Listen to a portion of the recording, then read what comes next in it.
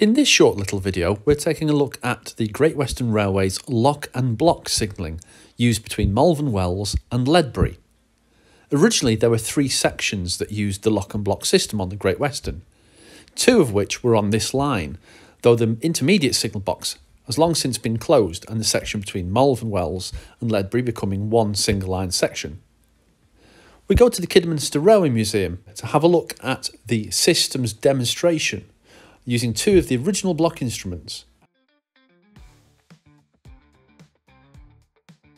There's, there's a certain amount of imagination needed because Yeah. I've had to simulate it. Yes. a- a- as best. So, um, if Malvern Wells are operating the train, it'll be the usual down signals and so on and so forth. And providing the track circuits are clear, Yeah. um, then I can go straight to the line clear position. Obviously repeats in mine and gives him a line clear at that end. These were um, homemade by the Great Western. Right. And you see some similarities between that and what they used at places like Bristol with the console. Yes, seen that one. These bits. So they, to a degree, it was a codged up arrangement, really. So we, we've gone to that stage now, um, and we can't go forward or back. Uh, we can't go back. So that's locked. So it's rotary, yeah, yeah, in that sense. So as soon as it, it comes online, then obviously I've got to then go to that position, which of course put this up as well. So we now got a train coming from the right hand side from Malvern Wells, choking away in the tunnel. and um, the first thing it will do is hit BBT track on there. Um, so that'll be that one there, so I'll put that one. Okay. And then progressively, as it's coming through, it will drop the next track circuit. The one behind it will then eventually pick up, Got right, yeah. and more particularly, it will hit a treadle. That treadle has now dropped the solenoid in there to say treadle cleared. Ah, right, yeah. That's now released because until that happened, this was locked. So that means I can then go back to the normal position, and of course, eventually that other track circuit will pick back up again. That's really In- simple. In a. That's really simple. yeah. yeah. Sorry. oh no. He, he hasn't got a real train to. I haven't got a real train, and, and when I went up in Ledbury Box, I don't think there was any trains about, so I couldn't see it work. But then, of course, like all these, any lock and block system, um, you've got to have the escape Yes. mechanism uh, where you need cooperative releases. And woe betide you, because of course it had to go in the book. But you can see there's quite high numbers. Um, oh, it's got counters on. It's got counters on, yeah. So, and that because it's cooperative, and the bloke at the other end is going to have to give a release. His counter will go as well.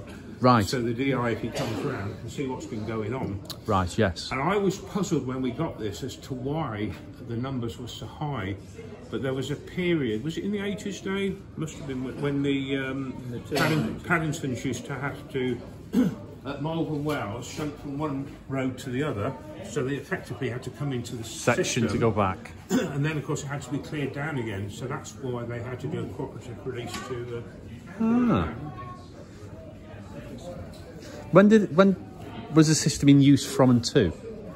date wise, you mean? Yes. Dave, we, ca- we got it in, let's go- read back. Uh, where are we now? 25, aren't we? So, it, was it COVID? When it came out, you mean? Yeah. Yes. when It was put in. Uh, when was Well, it put in? When was it backwards. taken out? Well, it was taken out in 19, was it? I've got the photographs of it in the back of my car. So there's a previous version. There was right. a previous version, and there was before that there was the original earlier version. I think where there was a pump handle involved, rather like they did uh, Glenronder Tunnel. Was it the Great Western Lock and Block there, or was it? Because it was also used Severn tunnel. They had a version of it there, I think, as Did well. they? They did it Quaker's Yard as well. Yard. That's what I was thinking. So it's been used a few few times on the Great Western then. So, uh, Not many. Ah. No, I mean this was the only working pair of instruments at the end. They had one spare instrument that they kept in the stores at Newport, um, but it was cannibalised pretty well.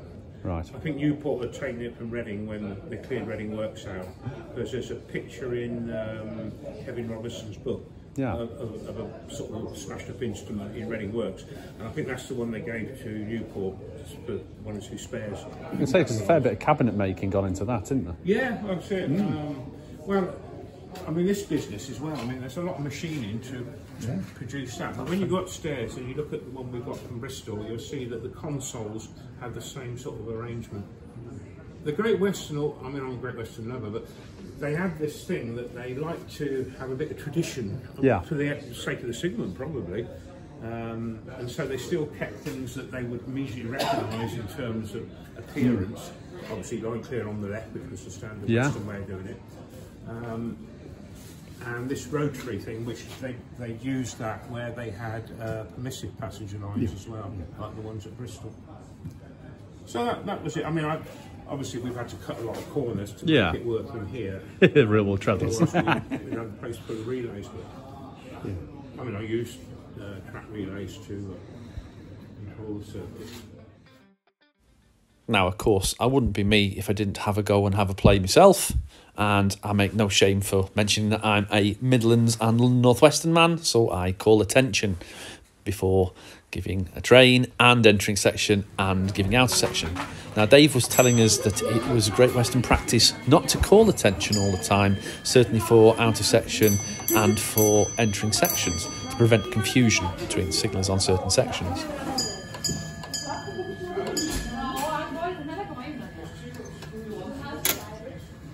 Thank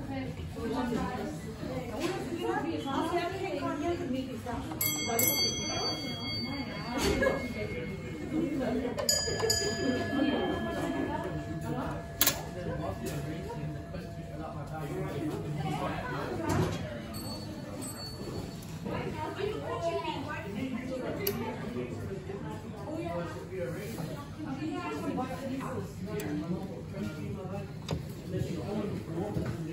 And yes, of course, I got a track out of sequence, didn't I? Anyway, that corrected, I finally got it back to normal on the block. So it was really quite simple to work. Anyway, that's the end of our video, but I would certainly recommend you get in touch with the Kidderminster Railway Museum in Worcestershire and get in touch with the volunteers who will happily show you around and tell you some of the history of the exhibits that are there. And there are many exhibits wired up for public display. That's part of the living museum that they're trying to recreate. And don't forget to say hi to Kevin.